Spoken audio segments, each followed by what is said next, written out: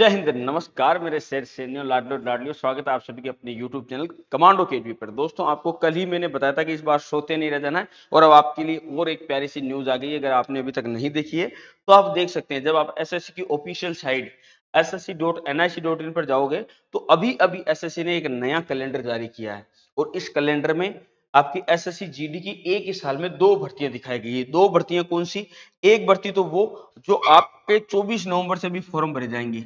जो 24 नवंबर से आप फॉर्म भरने वाले हो इसके एग्ज़ाम आपके फरवरी और मार्च में डेट आ रखी है, आपने सबने देखा होगा। फरवरी और मार्च में एग्ज़ाम है 2024 में। और साथ में अगली भर्ती भी अनाउंसमेंट कर दी गई है, आप सोचिए, ऐसा पहली बार हुआ है।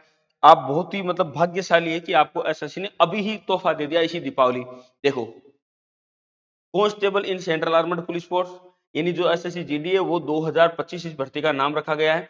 क्यों? क्योंकि इसका एग्ज़ाम 2025 में होगा और वो भी दिसंबर और जनवरी में होगा। यानी 2024-25 में होगा। 24 अगस्त को इसकी नोटिफिकेशन आपके आने वाली लाडलों, और 24 सितंबर से तक इसके फॉर्म भरे जाएँगे।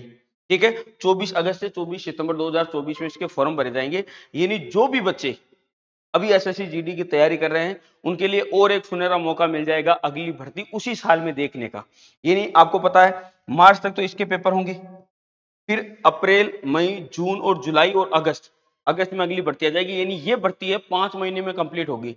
यानी मान के चलिए कि अगर आपका मार्च में एग्ज़ाम खत्म हुआ, उसके एक महीने के अंदर अंदर रिज़ल्ट आ जाएगा और उसके बाद में आपकी फ़िज़िकल शुरू हो जाएँगे और उसके एक महीने के अंदर अंदर बाद में मेडिकल शुरू हो जाएँगे।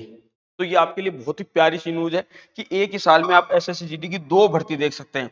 तो जो भी बच्चे जिनकी एज 18 से 23 के बीच में है, अगर जनरल कैटेगरी से तो उनके तो ये मान के चलिए कि अगले साल बहुत ही महत्वपूर्ण रहने वाली है।